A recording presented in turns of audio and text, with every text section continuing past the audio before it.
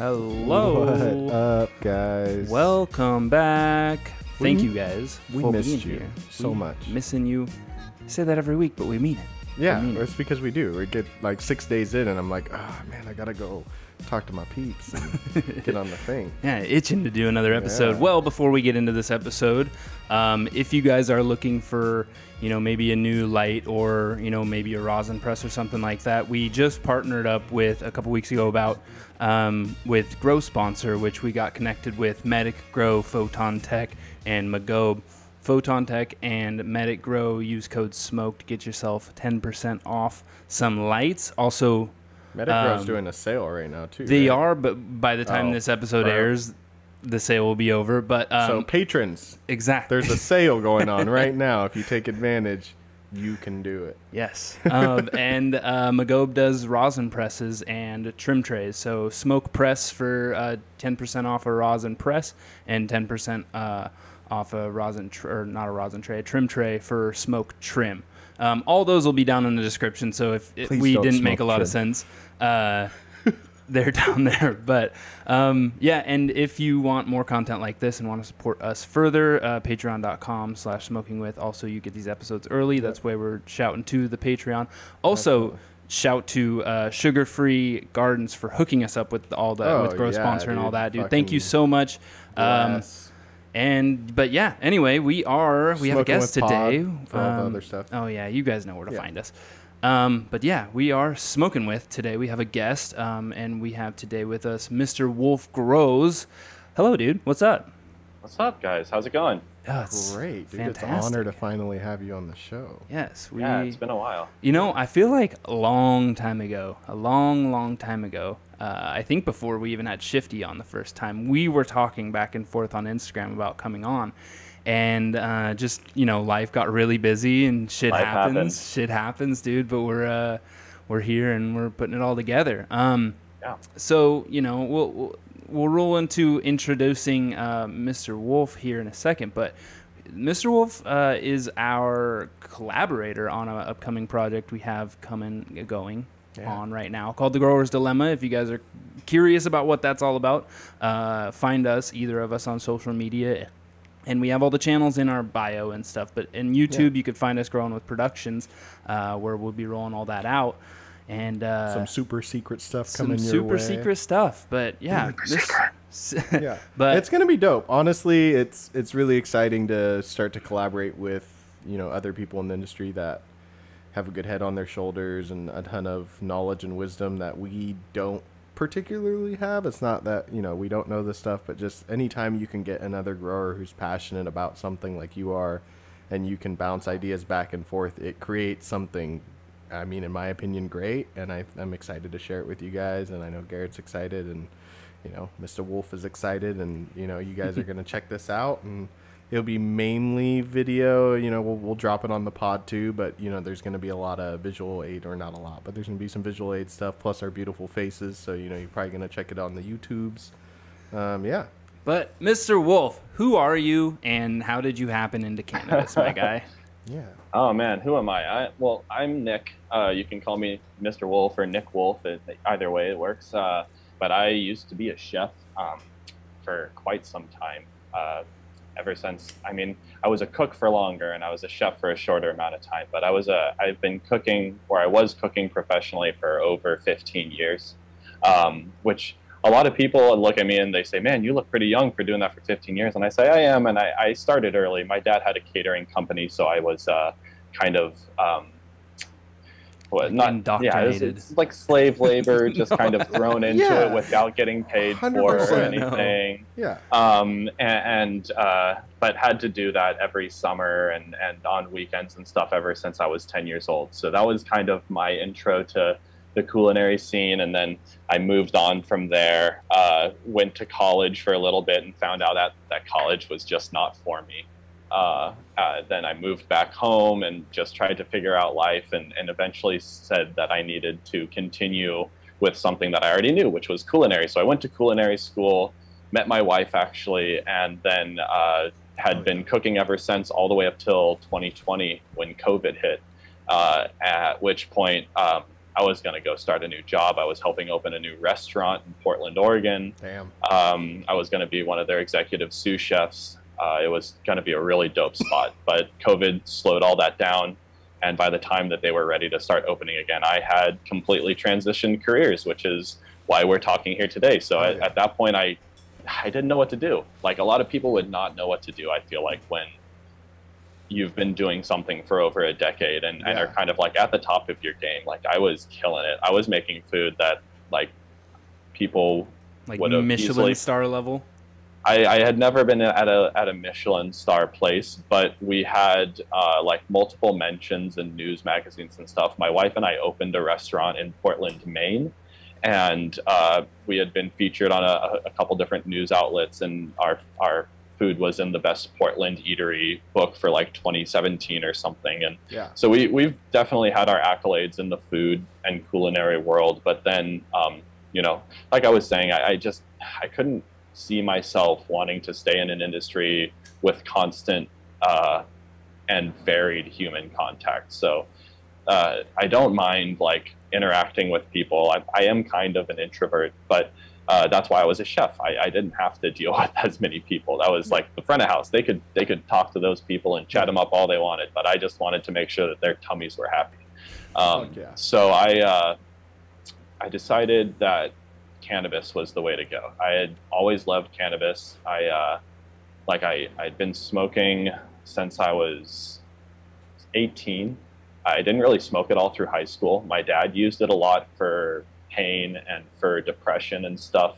Uh, and he had his medical card in California, so it was never really like a big deal to me. It was just kind of there. I'd seen him grown a few plants here and there, um, but uh, I, I just once I was 18 and I like started to use it for my own medicinal purposes and just to like, you know, rec- recreate with other people that were of like minds, and it, Mhm. it helped expand my mind a lot more to being more calm and at peace with the world. I was so angry when I was younger. Um, so I'm I'm definitely like grateful to it in so many ways, and so I decided, well, why not give that a try? It's it's legal now. I don't have to face jail time uh, at a local level in any way uh, by by cultivating in a professional sense for a, a licensed company. So I'm, I'm gonna dive in. So I dove in. Um, it took me like, man, it must have took me like six months of just looking for a place to hire me because uh, I don't know if if in Washington if you need like a cultivator's license, but in Oregon uh, you have to have a cultivator's license. So that takes like a that's three to four months process where you're waiting for this license to show up in the mail. Um, at which point you'll have your actual like number that you can then apply to jobs with because you, you need that in order for your employer to hire you. There was a brief period where you didn't need it at the beginning of COVID because they were so backed up, but I, I don't think that that's the same anymore. And so I think that it's just back to like you, you need that to enter. So there's a barrier to entry just right there for, Yeah. for any, you know, Joe Blow that wants to go get a job in the cannabis industry. It's not that easy. And there are people that cut corners, but it's not that not that great uh, to do that. It, you can face some pretty harsh penalties still, even if it's legal. Now I know that that you need like a license to do like bud tending and stuff too, right? So are those Yes. different than cultivation? Are they separate or No. are they all the same like Oregon state? Uh, it's all the same. It's just an OLCC, Oregon Cannabis and Oregon Liquor and Cannabis Commission. right. Um, it's like a just a cannabis service permit, so you can uh, That's so crazy. cultivate. Uh, you know, you can work as a bud tender. You can Just anything um, industry related. that you can transport it. You have to have it to transport it even. So you can't just be a random transportation company that says, I want to do this. Now you have to get all of your employees It's crazy. uh, licensed to do that. So and it's not that expensive. It's only 100 bucks, but it's just a hassle and it takes it takes time. So then you have to have lead time on that. But that's it's just but I, the so company's license and too, right? The company has Yeah. that. You company has to have a license, and all of your employees have to have a license. That's so. well, and you you can't even like apply for a, a new license in Oregon. You have to purchase old licenses now. Yeah. There's still a moratorium on it. Like they won't even issue new ones still. But you so anyways, like I I was waiting to to get this license and just like starting to look around at places like kind of like prodding like reaching out here and there, but not hearing anything back. And it was only because I was like, I was just used to the culinary industry, and I, I'd used like um, all sorts of uh, different hiring sites and, and like recruiting uh, websites for uh, the culinary industry. That when I decided to go into cannabis, there's nothing for that. The like, so the only place that I could find was um, it's like a, a cannabis. It's almost like a recruitment firm where they like hire you and then they hire you out to farms Hmm. and Hmm. they would charge the farm for your time there. But then I found out just like through due diligence that if through their contract, if you decide to work at that farm, then you would have to have that farm pay a severance fee if they wanted to hire you on full time, no longer through that uh, Oh, wow. agency. Wow, that's Yeah, that's some- shi- that's some shisty shit. So Shiesty shit, right? yeah, they're like, oh yeah, we'll get you in the people industry, no worries. shit. It's just capitalist bullshit. It's just straight up like, give me my money, let me try to make fee, as much money as possible. But finder's fee, but not even, but for humans, like No, I human know. finder's fee. What the? Yeah. And then they're probably paying you bottom dollar because you're new in the industry, right? So it's oh, like they're paying you an hour. the lowest sure. that they can Yeah. pay you. They're charging the company probably three or four dollars more on top of that per hour, and then and they put the insurance, like if they wanted to do insurance or benefits, they put that on the company that is Oh. that you're working for. So they don't even they pay like basically you are an employee of that company. They just have to pay this firm. Ex- wow, that's Bro, it's shady. sharecropping. It's sharecropping with extra steps. That's brutal. What the Yeah. fuck? That's like the mo- whoever did that used to be in the mafia. I swear, because that's some fucking mafia. I, I don't really shit. get it. Like I totally understand that they're just trying to make money in this new industry, but I Yeah. I didn't agree with it, so I didn't go with their company. That's Um, good, dude. I'm glad that we didn't go into a horror story of you having to escape No. this fucking weed mafia to work at the place you're working now. no, I mean, like I, I definitely was able to not do. I, I, I avoided that. Found the first place I worked at, and definitely gained some experience there. But like this whole time, I've been, gr- I, I was growing at home. So I like started a tent at home, then I started another tent at home, then I started like learning how to clone at home. Then I started like, I just started to try to learn everything that I could, like even on a small scale basis, just to have a little bit of hands-on experience. Um, because like with culinary, what I used to do is I, I used to make small plates. Like I, I would, but I would take you know two days to come up with a concept for one plate, and so I, I but then I would have to pump out you know 50 of those in 20 minutes. So scaling is something that I was really used to. So I'm not really, I wasn't really worried about being able to scale a skill as long as the tools were there in, in order to scale it. It, it, it then just becomes repetition, practice, and, and, and then perfection. No, that's, So- that's exactly true, dude. We have two people who work for our, our company who come from the culinary world, and like they they're both like, yeah, this is easy translation. It's basically you know you just do this, but you just it's now involving cannabis. So. You saying You coming from the culinary area is just like that makes a whole lot of sense. Yeah, if you're repeating the same thing over and over again, um, it can My, translate.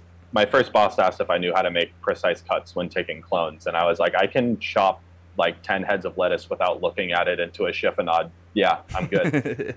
and Yeah. they didn't With a understand what that machete. meant. So yeah, they're like, oh, oh okay, and They're I'm like, like, that, yeah. that went way over your head, didn't? But but that's all good. You pull out your chef knife and just like three I'm taking clones clones with like a fall chef knife. off of it. yeah. No, no, I didn't. like, I didn't. Didn't go that hard. I was still like, I'm a newbie. I want to learn the correct way. right. No, I don't want to like sure. try and Show you know, off readjust this an old skill to Yeah. something that may not be as translatable. Right.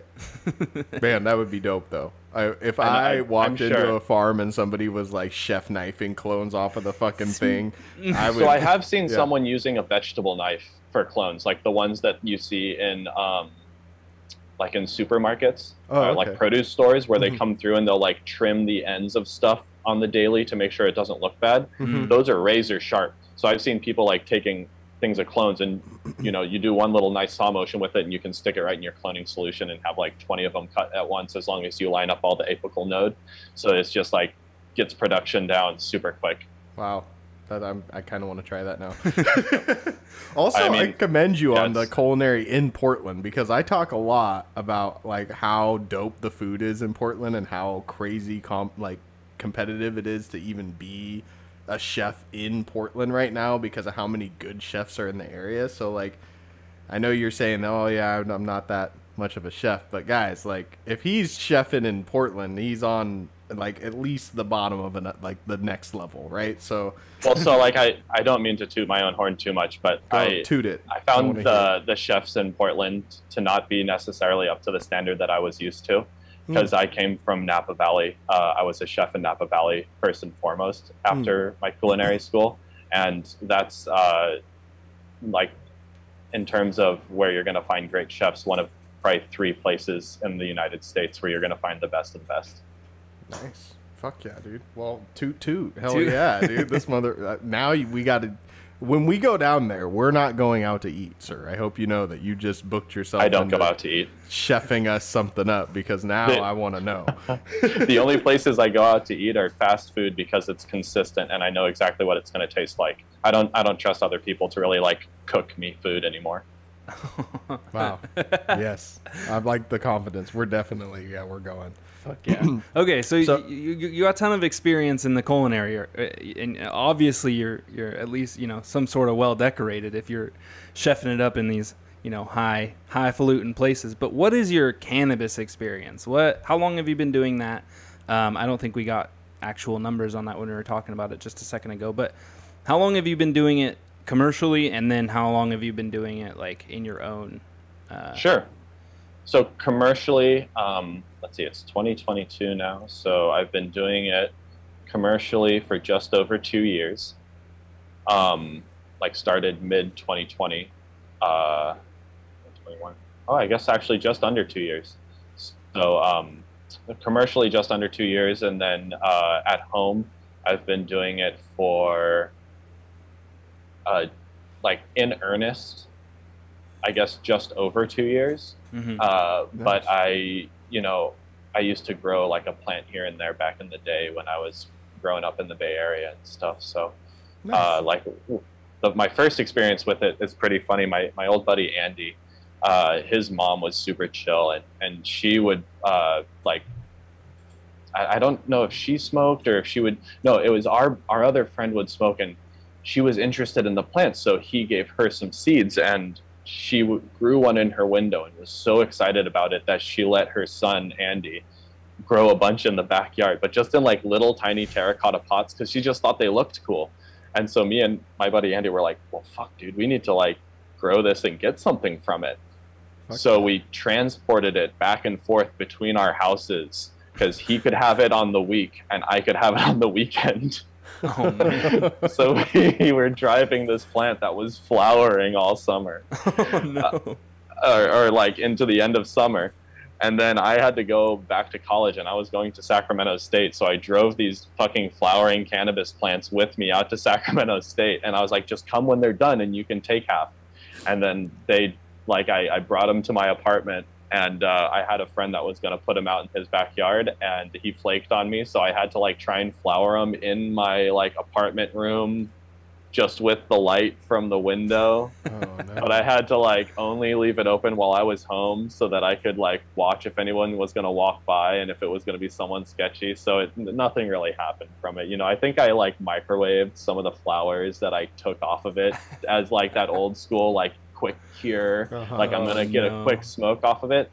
I think I remember getting baked from it, but I I also was at college at that point and just dabbling in other things. So I'm sure that it was just some stupid college uh, thought process that led me to think, man, I'm still gonna smoke this. right. Yeah. Fuck, dude. That's crazy. That's, Yeah. it, it's insane for uh, for only doing it for you know two to two and a half years now. You have quite a bit of knowledge, and um, you know these people listening right now may may not know that because we haven't dug too far into it. But this man's a wealth of knowledge. Yeah. What, what do you just have a drive for for knowledge, or you know I know that maybe you said that your boss has uh, you know sent you to these what do you call them? Um, It was crop steering. yeah, Um, yeah, like talks. Well, so like I, I, I went the, my so my thought process behind it was that I um I put so much time and effort into the culinary industry. I was my wife and I were like actually in the process of acquiring investors for a restaurant that we were going to open that was going to be part of a restaurant group that we were going to start in the Portland metropolitan area. We had it all planned out. We just needed money. Um, we were ready.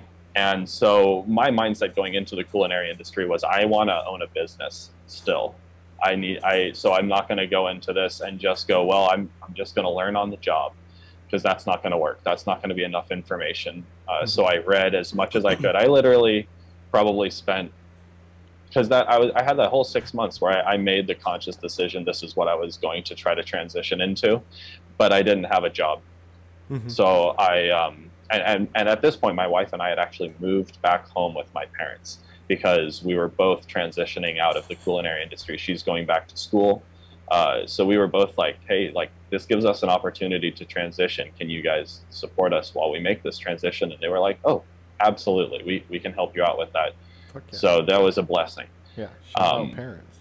Yeah. So that we were able to come here and just put that time and effort into what we were transitioning into. And I just read books. Uh, I quickly found out that there's not a great cannabis grow book out there. Uh, like no. if you buy a book to learn how to grow cannabis, you're going down the wrong path already. You need to start looking at online websites, forums, like the the one that really got me into like the actual individual parts of like all the intricacies within the growth cycle of cannabis and all the different things like IPM, nutrient regimens, lighting, uh, environment was I love growing or not I love growing marijuana, but uh, growweedeasy.com. Mm-hmm. It just has like such a wealth of knowledge of experience and not just uh, from say someone who's been growing for like 20 years or something. It was like people who were constantly trying to uh, transition into the newest, uh, most efficient technologies. And when I was like, well, I'm, I'm trying to get into the um, commercial space, I, I, need to know what the newest, most relevant and economical technologies and practices for growing are, because that's going to be what is going to be used. And I was right. Uh, so all of the stuff that I researched was immediately applicable when I got my first job, and I, I, I felt as though I posed a threat to the manager there because he knew that this was my first cannabis job, but I was asking him questions that he didn't have answers to. And I was also informing the other employees of stuff that he didn't have the information to give yeah. them. So it was uh, a very short stay there for me. he eventually like wrote me up for something very silly, like he he said like don't worry I, i'm going to turn a blind eye to you guys if you're going to like smoke in your car on lunch or something and then literally like walked up to my car at lunch and was like, "Hey, you're smoking. I need to write you up." I'm like, "You, this you is a fucking trap." Said, yeah, wow. that's a trap. Yeah, dude, fucking so, feisty ass manager. If I, you're I, listening to this, dog, that was greasy. You owe this yeah, man an apology.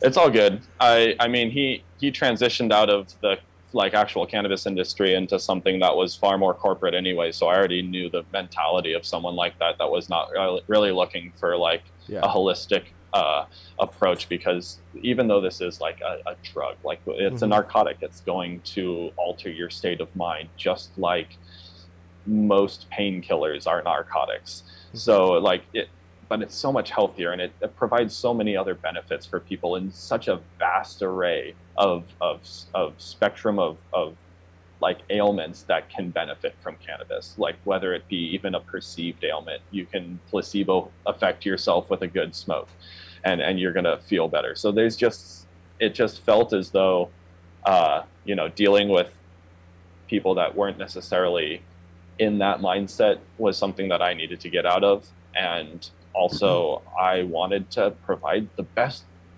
cannabis possible. I mean, I smoke a lot of weed yeah. and I don't want to smoke something. I don't want to produce something that I wouldn't smoke. So like I worked at a place that had powdery mildew issues, and they couldn't get it under control, and they wouldn't listen to any advice. So I had to leave there too. It was just, you know, there's that, and then of course there's a lot of old school ways within this industry where I don't know if you have dealt with it at all, but like one of my bosses like you know, he'd, he'd drink all day and then, you know, halfway through the day, switch over to Coke and just start like, you know, blowing rails and, and, and getting in the zone, I guess, as, as he would say. And it just, Damn. it didn't help. It, it literally made it so like everything that we might have progressed on that day in, in terms of like them listening to some sort of reasoning as to why uh, a certain IPM regimen might work better than just being reactive to when a problem was occurring. Mm-hmm. Oh yeah, yeah, yeah. This that makes so much sense. I really like your energy. And then the next day, them just not even remembering the conversation like Right. at all. Wow. So it was. I was like, okay, no more of this. Yeah. Um, but yeah, I eventually found where I'm at currently, and it seems like a good spot to stay for, for quite some time. My my current employer is a chemical engineer. His father's like a, a diesel engineer, and uh, the, they both work hands on with like all of our equipment and all of our nutrient cycles, or like our just everything is so well dialed in that I have so many kind of useful tools at my disposal that it makes growing so much easier and it, it helps us really sort of push towards those like crop steering principles and other uh, horticultural management practices that really increase yield exponentially. Yeah, hell yeah, that's dope, dude. I'm glad you found found a place that matches your passion, right? Matches your like thirst for knowledge. It also sounds like they like hustle too, and I think you know coming from an industry where you actually have to work hard, like culinary, you step into the weed world, and yeah, there's a lot of people who do work hard, and there's a lot of people who can hustle, but there's also a lot of people who don't, um, and you kind of have to sort through the shit to find a good place that kind of like marries with that. Because yeah like i've been to dispensaries where like people are high on the job right? And you can smoke there and you can be ripped and you're not answering any questions dog. You're just there to sell weed. Like you're gonna be like this one this one this one will get you high right? Like or you know even on the grower side like people and they just take dabs all day. Like they just dab out and they go and yeah they fuck with the plants a little bit and then they go back to dabbing and they're just chilling and they're watching shit on their phones. And then you have the facilities you go in and they're like, here, put on this Tyvek suit and scrub down, and this is how we do it, and everything's timed and nice and uniform and clean. So it's dope that you finally found a spot that, you know, kind of gets you that opportunity. yeah And I mean, it, not to say that we don't have our own challenges at the facility I'm at, but uh, we have a, a method for dealing with almost every problem that can arise. Uh, that's already laid out. That, and if it's not laid out, we have individuals with a high enough intelligent quota to, to solve it almost instantly Fuck yeah. um, whether that be like either like my boss's father, his mother, or myself, or our other employee. I mean, it's really only just the five of us, and it actually really only boils down to the three of us, like my boss, my myself, and our other employee. Yeah, engineers are like they're honestly a godsend in like the the cannabis industry. If you have an engineer, like a good engineer on on your team, uh, your place is is gonna and uh, like they're the easiest, but they're also the hardest sometimes people to work with, right? Because they think differently than people, right? Oh, Engineers have engineer brain. I have Um, so many hard conversations just to understand the terminology being Right. used. But once I understand it, he can then use that terminology again. And I feel like that's a great thing with culinary industry is I I know so much French just Mhm. from cooking, but I can't apply it to anything else. right.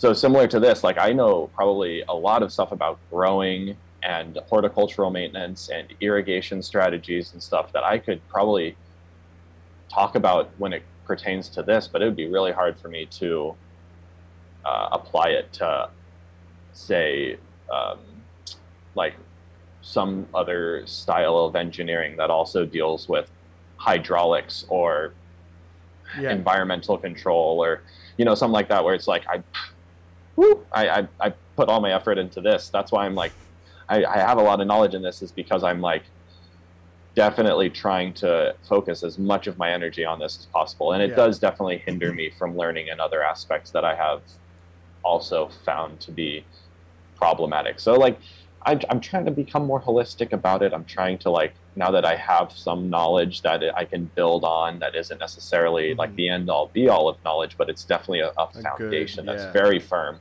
I can start to branch out and be a little more holistic in my in my practices and try to learn Uh, you know, not just necessarily when it comes to what I'm doing work wise, but also just like bettering myself as a human being and Yeah. as a husband and all these other things that I feel like are now.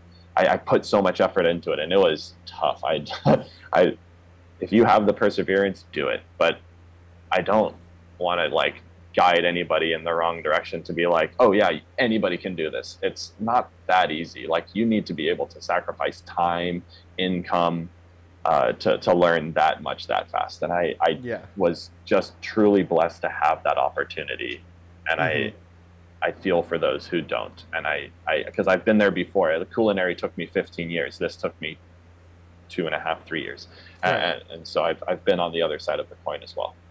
Yeah, and I think that that's like everyone's kind of experience or journey. Is it, it starts with like you know whether it's 15 years or two years, but it start it starts with very pointed, very directed. Like I'm learning about this specific topic, but as you get to this like I don't know next level of any learning, you start branching off into all these other aspects that kind of funnel into your your area, right? So if you're a gardener at home and you start with growing weed, eventually, like somewhere in your journey, you're gonna learn about just growing plants in general, and that's gonna take you down a rabbit hole of learning how to like fucking grow trees and grow grass, and and now you're gonna learn about the dirt, and you're gonna learn about bacteria, and you're gonna relearn chemistry because you need to learn how you know ionic exchanges happen, and and it just takes you down all these rabbit holes where you like just start learning other shit about Now you other have shit. chemistry, Yeah. biology, Yeah. horticulture. You're just like learning everything oh, all at once. Oh, yeah. Like after you get past the just a little bit, like okay, I know how to cure, I know how to grow, I know how to veg, flower, all that. IPM, okay, I'm good, and then poof, next level Yep. is just Well, and Like, now I've been applying it to my vegetable gardening too, and Yeah. It's Right. just like taken off. I, I've applied it to our fruit trees that we have on the property, and they're just being so much more prolific this year than they were the past two years. And it's just because I'm applying just more educated strategies to my gardening in general. Isn't it And crazy how much better so great. it gets you with just plants? Like I have these two dying pear trees that were in like I think three gallon pots, like when they were supposed to start, and they're just in the corner of the yard. And uh, the it was my girl's brother, right? But she didn't do he didn't do anything with them. He just left them in the little pots, and like they were just gonna die. And finally, I was like, "So what's happening with these trees?" And they're like, "Well, I mean, if you if you think you can save them," and I was like, "Well, I mean, fuck it, dude. I I'll- think I can. I think I can, right? So I like I go and I like pick a spot in the yard and I clear it out and you know, I mixed some dirt. I got some hot soil like kicking it. So I'm like, yeah, I'm going to mend that in here and I got some of the natural soil, mixed it up and then I took some of the soil that was in the pot and shook it from the roots so I could, you know, score some of the root mass and then, you know, got some great white and put it in there and, and watered it. Nice. it's got a fucking pear on it, dude. Like it literally, like in two weeks, I just put it in there, started doing all this shit. And it's like, oh yeah, cool, sweet fruit, and I'm like, waiting. yeah, I'm like, oh Yeah. fuck, dude, this okay. Wait, I mean, wait till you had- give it like three years since you gave it such a good start too. And if you give it like two more years of no, you know, you you do like late season prunings once all the Mhm. the sugars have been pulled back into the root zone, so that you don't stunt any of the growth or Yeah, remove yeah, any yeah. of the energy from the plant. You just do little tiny, like tips, tippings, basically. For Mm-hmm. the next two years, dude, you're gonna have the biggest fucking pear trees. That's gonna be dope. I want to start grafting shit onto it. That's another rabbit Oh, hole I'm going down right now. Is like learning how to graft. So I'm gonna like graft some fucking apples onto that shit. It's gonna be a crazy. Dude, graft a cannabis plant first. It's so easy. Yeah, uh, we were just talking about that, bro. I'm like, dude, now I want to graft a weed plant. I want two weeds growing off the same plant. Like that's what I want. I mean, think about how easy it is to like get a plant to knuckle up if you super crop it. Right. It like, and that's all just uh like what's it? I just learned that shit on accident Callus. I think time, it's right? called callus tissue. It's the like the the plant uh, stem cell tissue that basically can form any part of a new plant. So like when you see, like when you take a cutting and you see on the cutting or maybe oh, like any of the meristem, nodes meristem that you cells. uh, not the meristem cells. Uh, so because that's going to be up at the tip of the plant, but these ones are going to be uh, like you take your clone right, and so like let's say this is your clone and you cut it right here.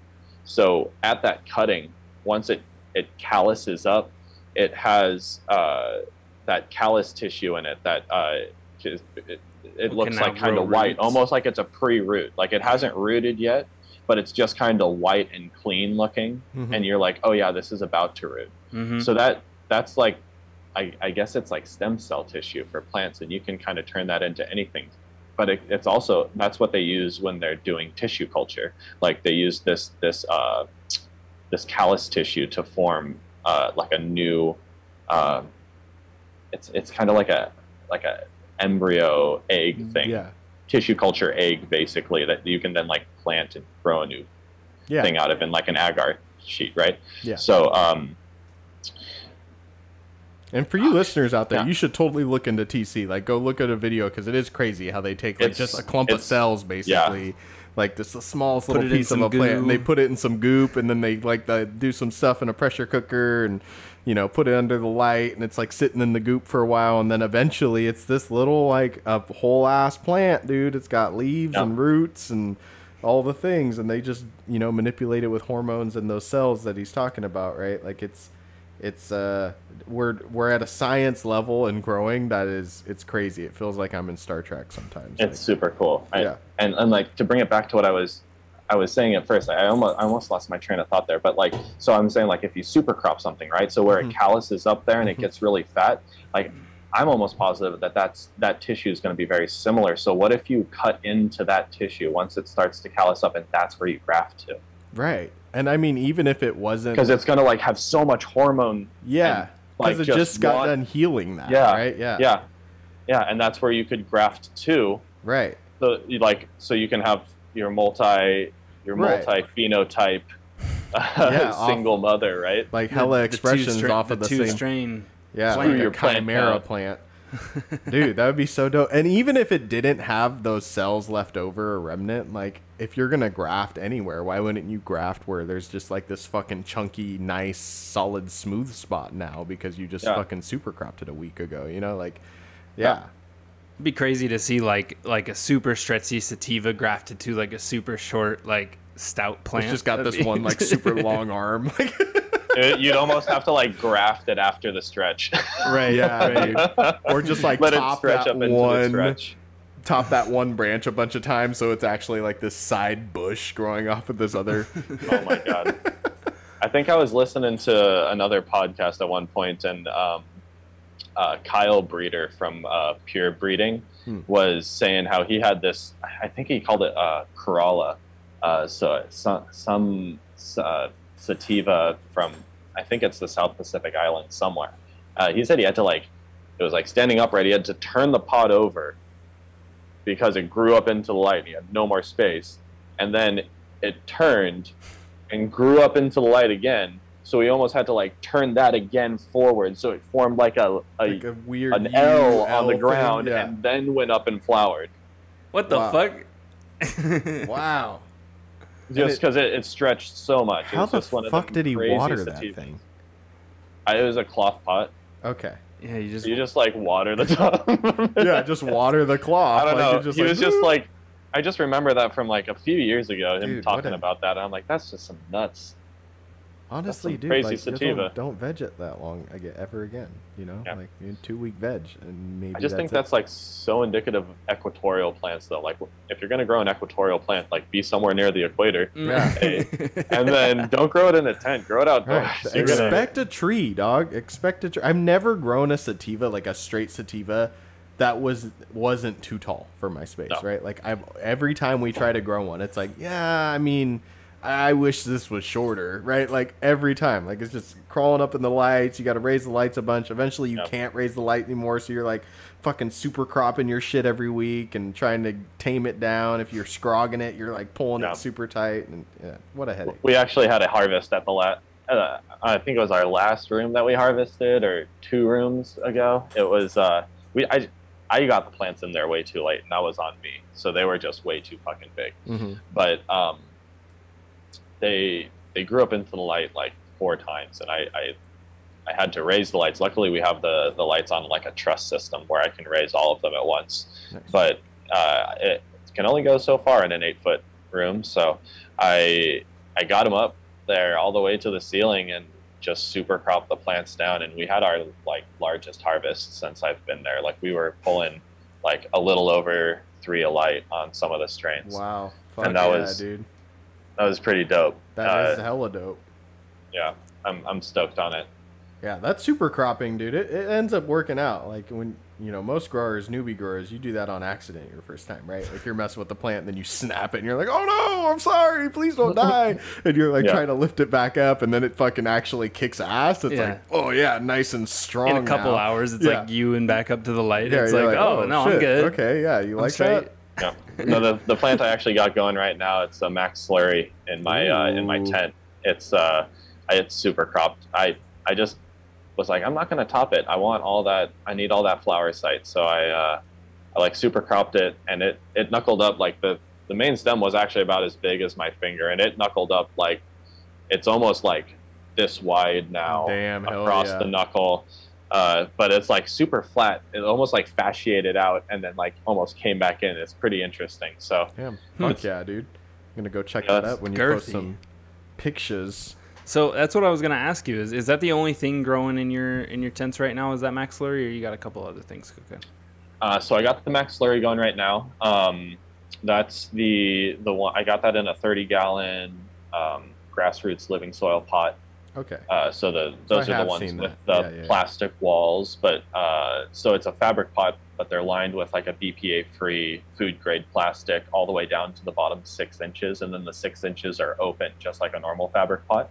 Uh, so you get the root breathing and root pruning down low, but you get good water retention in most of the pots, so you don't uh, have like huge humidity spikes at night from fabric pot transpiration, um, which is just like Hmm. has always been a bane of my existence within a tent if I'm using a fabric pot, uh, especially with like coco or, or hydroponics, uh, like high frequency fertigation or, or anything like that. So I I found that this was just really manageable and it keeps my humidity up where I don't need to really run a humidifier past uh, like maybe the the first week of flower. I, I actually kind of cut it off like a week ago before I even flipped it, and I just flipped it like two days ago. Nice. So it, it's been like holding steady at like 60 throughout the, the day and night. So I'm, I'm happy with that. Hmm. Um, Okay, but then that's that's the only thing I have in the four by eight right now because uh, that's just uh, like sector two, I guess, if we're reading it like a book. Uh, so sector one is um, going to be um, I have a uh, a four by four drain tray with a four by four grassroots uh, living soil fabric pot, that, and I am making up my own living soil for that. Uh, it's kind of based on like the Clackamas Coot recipe Mhm. with a few tweaks, uh, kind of following like some of the build a soil stuff, and then just uh, like a few different other things online and from what I've picked up from other Yeah. people and what I've been trying to learn. So, and then also to fit within budget, um, like I, I can't go and buy uh, half uh, a yard of worm castings. That's so unfeasible. Right. It's or like a, I think it's like a third of a yard of worm castings, but it comes out to something crazy like uh, seven or nine cubic feet of worm castings, which it, it'll run you like lot of five hundred bucks. Yeah, that's a lot of fucking Yeah. worm casting. That's like So I just like got bags and bags. compost, like pretty like pretty decent compost, and then I made my own worm castings. I like foresought this and like made worm castings just for this that were have just been fed, uh, like specifically nutrients that I'm putting in there, as well as cannabis leaves and cannabis stems and like barley and and all the stuff that I've read that will really help like boost their numbers, but really kind of also kind of boost the, the enzyme and microbial life specific to cannabis. Mhm. Uh, so that's all cooking right now. I got that out uh, under a tarp. I gotta. I haven't mixed the actual nutrients in yet because I don't want the microbial life to go too crazy yet. I'm Mhm. kind of trying to hope that it cysts up a little bit for now um, because I need to. It, it's getting too hot outside, so I don't have enough time to let it properly like uh, cook uh, out outside, and I don't have an indoor space to let it cook. So what I'm going to do is I'm going to let that sit for a couple more days just to kind of let all the microbes find their place and then then cyst up and then I'm gonna mix it and then I'm gonna let it cook for like a month inside of the tent uh, and just like mix it and bring it directly into the tent. Nice. Probably spray it down, put a cover crop on it, and, um, just Yeah. let it kind of do its thing. Nice. Do you have live worms in that in in your soil in your big ass uh, pot? I, I, imagine, right? Yeah, in the 30 gallon, I, I have worms in it. Nice. Um, and then they'll they're pretty active in there. They they go through. I, I feed them pretty regularly, just with uh, I do like uh, malted barley meal, uh, kelp meal, um, and that's that just kind of like feeds the microbes at the top surface. So the, the barley will throw down a bunch of enzymes and get the mycelial action really going. Mm-hmm. Uh, and that'll start to just break down the kelp really fast. And then it'll kind of promote all the microbial life to come up. Because I have like a nice little top layer of rice hulls and uh, white clover. So it keeps like a nice little humid environment there. So it should break it down pretty damn quick. And then the worms will just shoot up to the top and take all the uh, the juices and stuff from the, the dead Fuck microbes yeah. and stuff and nice. give that right back to the soil. Do you seek out like quality, like you're talking like the malted barley meal? Do you like look for quality stuff, or do you find something on the store shelf and just use that? Um, a little bit of column A, a little bit of column B. Just so for budget wise. It's it's budget based. I I mean, in in the end, I feel like one thing to remember is like all the nutrients are going to be the same when the plant uptakes them. Right. Uh, the the big differences are going to be like what's what you're left with uh, trace wise afterwards. Maybe what what those products might have been treated with in, in their lifetime mm-hmm. if they were sprayed with some sort of pesticide like glyphosate or or like like Roundup or, or just other things that are going to they they aren't necessarily it's not necessarily known what the whole picture is in terms of human health with mm-hmm. then using those for other things afterwards right um, so i try to avoid things that i can uh, but if it's extremely cost prohibitive i'll i'll just look for something maybe local or something that is uh, the best option that other people use um, but it, it, it it does become cost prohibitive. Like malted barley, I, I picked up a 50 pound bag of just malted barley. Like, and I, I now use like an old coffee mill to grind it up for myself because it's just super cost effective for yeah. what I, my application rates. And that thing will now last me like five years. Right. Um, but it's, it's not like a, a non-GMO or a organic, uh, but it is what like all the breweries around here use for the beer that I drink all the time. So you're hoping it's some type of good, right? Like, like they're what, all using it, what, it's got to be at least okay. I mean, if I'm drinking it and it's only been through one fermentation process, and now I'm putting it in soil where li- it's going to go through a plethora of fermentation and devouring and yeah, just like reconfiguration yeah. processes until it eventually gets into my smoke. I don't Probably know. going to be okay. I'm yeah. I'm also smoking it. Right. So like, how concerned am I with mm-hmm.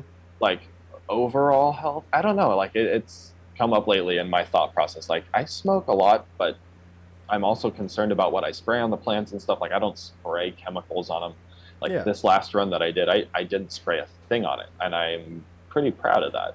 Fuck yeah. But uh, this one I'm, I'm I'm using like foliar sprays and stuff and, and adding like silica and humates uh, to the the foliar spray to hopefully kind of boost the plant's overall immune system. Mm-hmm. Um, but I'm not trying to really add extreme deterrence. Like I've, I've always used wettable sulfur in the past, and I think I might try and spray it once. But I, I think after that I'm going to hold off on on the rest of the grow and just see how it goes. I've always also found when I spray sulfur, I get like such better terpene profile expression. Fuck no. yeah, dude. And I like that you mentioned like it's important, like going back, like you don't know what the barley has been sprayed with, and I think that's you know important for a lot of people who try to compost at home too. Is like keep in mind that if you're gonna use that compost to grow food or grow something you're gonna consume in any kind of way, smoke it, whatever, like it has to start off at least okay, right? Like you don't yeah. want to put a bunch of stuff that's been sprayed with pesticides and Roundup, or like if you're using yard clippings, like what would you put in your yard, right? Like is it a bunch of Miracle-Gro shit and again Roundup and other weed and feed, and then you're taking that and you're putting in your compost pile, and then taking that, putting in your garden, and then eating the stuff that grows from it, like yeah, totally glad that you said that, dude. That's definitely something people should be aware of. And when you're talking about a plant that is also used as a medicine and, you know, should have some type of, I guess, uh, reverence when it comes to thinking about, okay, I'm going to use this, and not only am I going to get high, but I'm, you know, it's treating these ailments, right? So I think, you know, it's important to treat it that way and keep it as clean as possible. And I know that me and Garrett try to do that. Like, we're all about the organics and, keeping it clean and I that's why we jive well, right? Like that's why we wanted to do the project together is because Yep. you know, we we kind of we subscribe to the same kind of methodologies and and we're kind of circled to the same idea and the same thought processes but from different states away, right? And on on our own journeys. So, fuck yeah. And I feel like one of the big things there is that we're always trying to learn. We're, we're not here to find a specific way of doing something and then say this is the way to do it. Uh, I don't need to learn anything else. Right. I'm I'm good. Right. Um, that's not a great way to go about life in any way. So we're I, I'm totally all about the, the constant learning and the application of knowledge. Right. And I was just, yeah, we were just talking about that before the show too. Like the more I know about this plant and plants in general, the more I, fe- I feel stupid. The more I feel like I don't know. I'm like, oh fuck, dude. Like I thought I knew a lot, but now I feel like a fucking idiot. Yeah. That's okay. Constant oh, pursuit oh of yeah, knowledge. yeah. It's always a pursuit of knowledge. Now I'm like, oh okay, now there's these eleven new things I have to learn about. Where it's like before it felt like only one thing, right? And that's, I think a lot of things when you're gardening is like you're you're you're constantly humbled by the things that you you don't know and the questions that arise and you know the the problems that come up, right? Like, and it's more about problem solving and responding and learning and and being humble and and asking questions than it is like nope, this is the way and I got it and kind of growing with that kind of ego pride mindset. Yep. But also never like don't don't forget to take pride and, and excitement in your wins. And when you do something that is awesome, recognize it and, Yeah. and make sure that you feel good about yourself. Because I know personally I don't do that enough. And it's always a journey to try and make sure you feel uh, like self uh, recognition almost. Yeah, Yeah. For sure. Nick, what's what's your like end goal with cannabis, right? Like you got out of culinary and kind of completely changed up your life and now you're kind of in it, right? And so what is your end goal? I know uh, we, you know, would like to have our own grows. And I feel like everybody who kind of is enveloped in the industry or like this um, shares that. But is that is that what you want? Do you want to kind of like envision one day owning your own, running your own show? Uh, definitely owning and running my own show, but not necessarily in the sense of like owning a commercial grow or a commercial grow space. Um, I I'm definitely I have found that this has been such a, a medicinal plant, and the aspects of it are so unique, uh, cultivar to cultivar, that I have always just been drawn to the idea of different flavors and different strains, and so I, I do a little breeding on the side, and I I like to kind of dabble with new flavors that I can try and find and, and see what other people are creating and, and search through it. So um, you asked me like what I'm growing and earlier, and uh, I was also going to add in. I I'm also like pheno hunting through like 30 different seeds right now, and so like anytime I pheno hunt, I'll pop like 30 to 50 different seeds and and just find one or two maybe. Um, like I, I actually don't have any keepers from any pheno hunts yet, and I've probably popped um, five to 750 seeds so far. It's hard to say just because I like I'll pop a bunch and then like I'll even chop them early if they're like not necessarily the best looking thing or it, Like even You know, there's- like solo cup size, right? Like yeah. Or I, I use like four inch by four inch nursery pots, Hmm. um, just uh, to keep this the square aspect so I can fit more in a in a cubic foot area. Right. because then I can use like the the 12 inch trays and I can fit four of them wide and I can fit uh, two of them uh, lengthwise. So I, I have like I think I can do like 18 times eight if I wanted to to actually pheno hunt that many and, and just flower them in four inchers. But that's what also the kind of the purpose of the four by four bed is going to be is I'm just going to throw it, it'll always be in flower and I'm just going to throw clone sized plants in there um, and see how they do with my nutrient regimen because I'll, I'll probably like grow some tried and trues in there at first to get it dialed in and then once it's like cycling nutrients well i'm not i'm not going to be too worried about flowering really small plants and then just like basically returning all of it except for the top couple nugs just to smoke and test and i'll take a clone or two off of it in in veg or no it'll already be i'll have the seed this will be a clone so i just need to take like that much top nug off of it just to see if it's worth uh, the pheno and then i'll i'll keep it or chop it and That's kind throw of like even the mother into it Are Yeah. you searching for flavor when you do that? Is that kind of what you're after? a, a flavor and effect. Um, so like I, I need my cannabis to be heavily narcotic, but also, so it needs to like make me calm down so that I'm not overthinking things, but also have a pain relief effect. Uh, just from like years of, of kitchen abuse on my body, and then just I, I grew up with a brother that was a year younger than me, so we were rough as hell on each other, and I beat myself up just way too much from a young age. So I'm, I just have, already have like creaks and, uh, you know, Yeah. sore, Got sore the, things. got the old man creaks. Oh yeah. Yeah. So I just, I use it just for, for like pain and, and mental relief. So it, it needs to be narcotic. It is one of the big things for me. Like when people say, oh man, that, that's a really narcotic strain or that's a heavy strain. That's what I'm always looking for. So I'm, I'm, I've already got one uh, cross in the works right now, and uh, I'll, I'll, we'll talk about more of that at some point in the near future. Yeah. But I won't release that uh, information quite yet because I'm, I'm still finishing up like the first uh, round of F2 seed making. So I need to like finish that and pheno hunt it so I can find some keepers and make some crosses before anybody knows or is, might be interested in it. Yeah, um, yeah. And then from there, I'm also just like always pheno hunting stuff to then eventually cross into this line uh, as outcrosses. Basically, uh, if I find like just some fire keepers that people are going to want to see like a cross of that into like the works that I'm making, like I just want to have one main line, maybe a few. Mm-hmm. Um, yeah, that, that'll that'll be other shit. Yeah. Fuck yeah. that, that's what I eventually want to do. Get, get nice, some dude. get into either breeding or just like uh, uh, like flavor curating or, or like medicinally uh, curating. Um, I just I heard there's a people. term for that now. It's like a ganjier that they're like trying to start a no, no, no, no, no, no, no, no, no. no. No, I They're don't want to be trying to- associated with that. Yeah, yeah, yeah. No, I'm No, just that- saying they're trying. Those are trying to people that push can like try and they're like, I can smoke that flower and tell you what it is. I don't give a fuck. Yeah. I, like you can tell me whatever the fuck you think it is, and if it's that, it's that. But if it if it work, does it work for you medicinally? And if so, Yeah. that's what I'm interested in. So I Like a feel like it's more of like a doctor. tastemaker than a ganjier, where I, I want to find stuff that works really well for me because I I know that the stuff that works well for me works well for my wife, works well for my dad, well it works well for my coworker.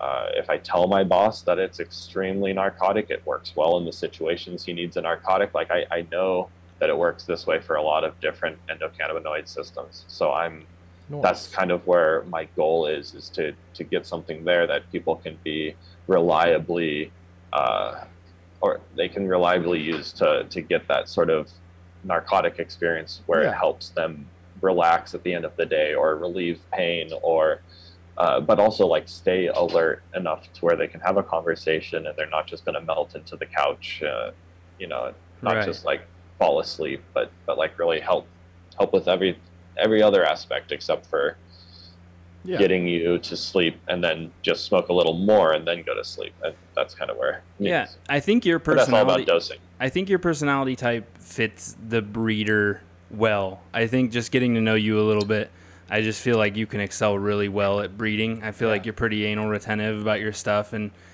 uh, like you're fairly particular. Um, Mm-hmm. And so I, I don't know. I feel like that's a really good path for you to go down and start. Yeah. And that you're already doing it, so I don't need to tell you this. But like, I just, I, I'm just like, damn, dude, like that. there will be success S- there. that suits right? you. Yeah. Yeah, So- that, like the amount of like passion that you have into even looking for these strains, right? Like, you know, you're taking as i just much have to as learn you how to can do. market Oh, dude. Right. Yeah. Well, I mean, we're getting That's there, my right? problem. We got this. We got this podcast. yeah that's we what got- i'm doing here right Yeah, That's- yeah. You're you get doing it. You're out there, right? practicing already, man. Yeah. And we're gonna do the video series, and then you you be a champion. Fuck yeah. There we go. And you, if you ever need some testers, you know, holler at your boys. We're only a state away. yeah. That's right. No, I, I mean, I'll definitely. I want to have testers, but I also, I don't want to do it like other tester programs where they're just like, here, take some seeds. Like I, I, I tried that at, at one point, and like just with one of the crosses, I was like, ah, let's see if what people do with this, and and I got like one response from someone or two responses from some local people that I, I respected.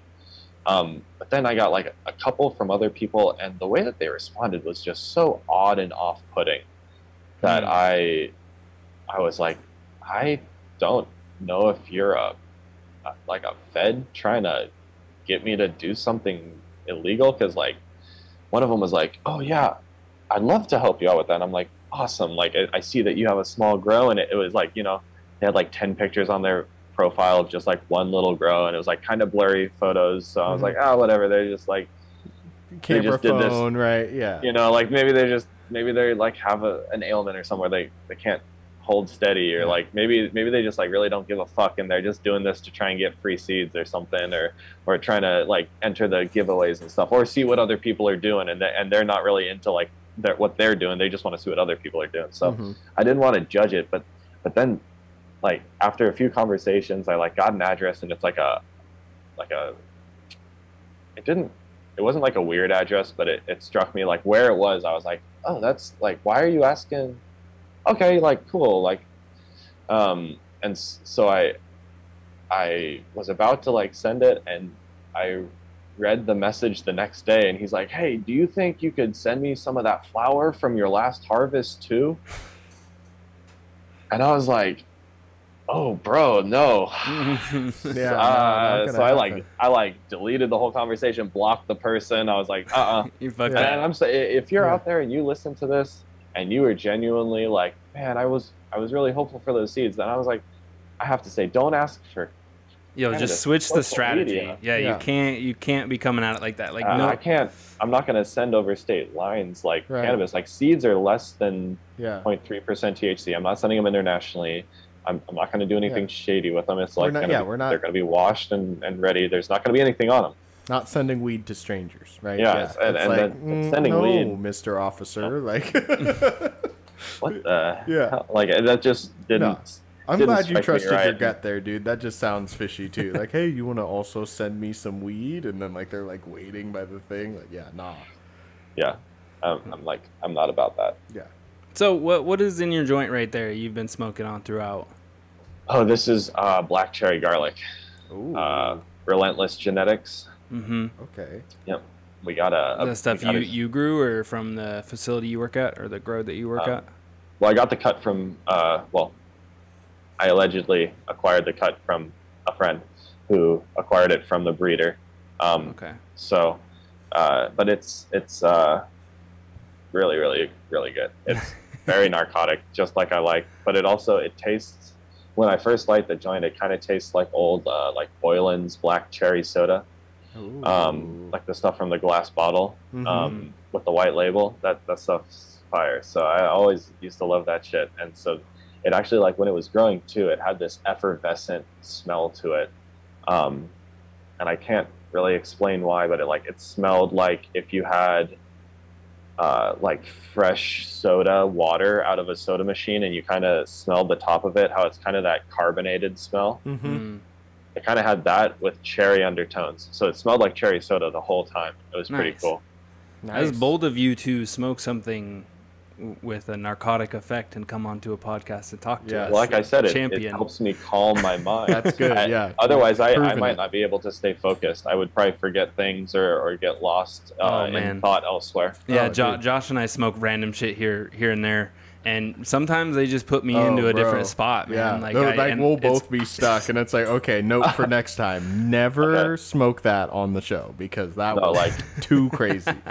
So like I the one something like that for me was like I tried Golden Goat uh, like a year ago, and that's oh my god, it was just so sativa forward, uh, like in terms of if what someone would like think of as traditional sativa, and it just had me like, oh my god, like what's going on? I'm so excited about everything, and I, but it was like I, I was so distractible. Mhm. Mhm. man, one like that. We had like Ethiopian that we were smoking. And I think we did a dab, and it was like, oh man, maybe maybe Fatso or something like that. It was just something heavy on heavy. And after I took the dab, I was like, that was a mistake. That was a. I am tired now, and I'm trying really hard not to yawn into this microphone or like on camera, but it's it's getting harder and harder, and I'm thinking about shit that is not even what we're talking about, right? And I'm like, oh god, hold it together for like ten more minutes. You got Oh, this, man. Josh. What were you guys smoking there? Uh, the ice pie. It's uh, is it a pheno or is it just something we just kind of No, it was a clone we got from. I'm forgetting his name. Tiki Madman. Oh, Tiki Madman. another okay. tiki. So we- another we, just Tiki went through a whole like. Yeah. We bought a bunch of. We bought uh, like three or four different types of clones from Tiki. We We're got a running bunch of a clone, lot uh, of seeds and shit. So Tiki. just right from that batch, we're trying to we're trying to Yeah. work it out. This is our like second or third time running it, and Yeah. we usually get- give it three or four chances before we either cut it or keep it. Did you guys get seeds from him or or uh, That was a clone. clones? That was a clone Oh, yeah? fucking yeah. That was um my boss's. That was for for the from the facility. So that was like a five hundred dollar clone. Yikes. Yikes! Um, I, yeah. I I have uh, a couple of clones right now that are um, let's see what's it uh, Red Velvet Ooh. and uh, E85 from uh, Grandiflora Mm. Genetics, and uh, yeah, they cost more than I care to share. yeah, dude. Some of those clones are like I've seen one for like 10k. Yeah, there's there's one from Oh. like B Leaf right now that's like his Chimera two that's like ten thousand dollars, and it's like, dog, bro. can you? for Can a you cutting, really- like that's the breeder that I want to be, right? Like I don't even sell seeds; I just sell you clippings of my one mom that I'm keeping forever, and it, it each clipping is ten thousand.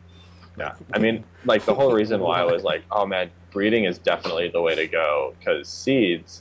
I'm looking at like seeds at like right off the get when I'm trying to start growing. I'm like, why would I buy? Because I'm over here like thinking like tomato seeds and stuff. I, I'm not too aware of like the different phenotypes and stuff that can come from a pack at this point. I just hadn't really looked that up yet. It wasn't part of my my reality to this world yet. Mm-hmm. So I, I was like looking into packs and it's like 10 seeds for like two, 300 bucks. I'm like, these are $30 seeds. Cl- clones, clones are $30. What the, f- Right. why would I buy 10 seeds? Uh, and so I just like never even popped a seed probably for like a year and a half. Wow. Well, because I you're mean, in, in. Oregon, could so just you can buy go a to the clone, yeah. dispensary, and yeah, you got Yep. clones in a dispensary. I So mean, I had a buddy we've that- gone to Oregon just no, we to get- didn't. So I had a, I had no, allegedly. Yeah. So I like I had a buddy that actually got me I've never the been legit, Oregon. The legit like run screw runs cut as my first clone that I ever grew. Wow, Um, that's fucking dope. just That's a dope. lucked first out. clone. Met the guy at the grow shop. We kind of hit it off, and we just had been talking and stuff. And he's like, "Well, I got clones if you ever need one." I was like, "Well, I have to set up my first grow first.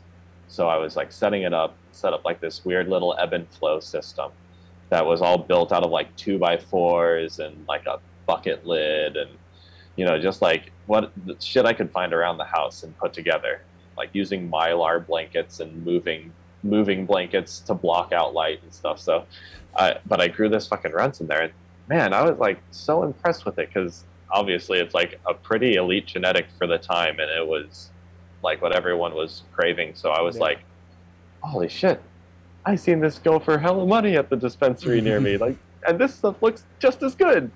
Like, little do I know that it, like all the dispensary weed that I've been seeing is garbage. Right. Uh, so it's, Yeah, it was you're like, like, kind I'm of doing great." bittersweet now looking back on it to be like, man, I, I grew pretty pretty average mids for my first But grow. like for your dispensary first grow to actually produce something smokable and like on a level where you could find it at a dispensary, dude, like that's that's pretty good. That's good beginner's luck. Like I didn't produce smokable weed for three more grows at Yeah. home. That's okay, so like man. if, That's all if part everyone of the process. else wants process. to also think like you like you can fail a whole bunch before Oh. you get oh, good weed. bro. I think everyone, you know, Does. generally does, unless they have somebody who's like really right by their side, checking all their balances. Yeah. Yeah. But Yeah, unless you're Padawan or somebody, like you're gonna fuck up. You're Yeah. gonna fuck up hard. Yeah. Well, Mr. Wolfe, Nick, uh, it was great talking to you, man. Uh, Yeah. Is there anything that you would like to tell the people, our audience, or anything uh, before we go? Uh, well, you can find me on Instagram. I'm Yes. uh, Mr. Wolfe Grows, uh, Wolf with an E, W O L F E. Uh, and uh, also, my genetics company that I am working on is Anthos underscore genetics. Uh, Anthos is Greek for flowers, so it's just flowers genetics. Um, Nice.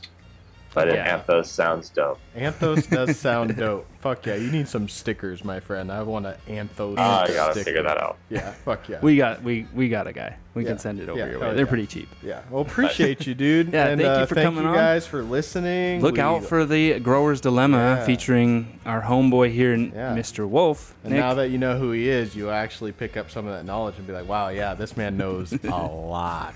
it's a good time. Hell yeah. But try. uh, we will see you guys next week. We appreciate you. Love you. yeah, love ya. Bye. Peace. Peace.